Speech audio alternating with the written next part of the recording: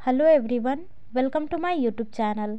आज के वीडियो में हम जानेंगे ओब्लाइगेशन का हिंदी अर्थ के बारे में।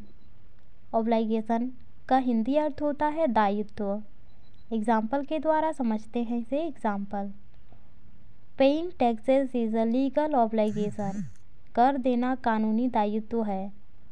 कर देना कानूनी दायित्व है। इसी के साथ आज के वीडियो में बस इतना ही। वीडियो पसंद आया हो तो लाइक करें। Thank you so much for watching my videos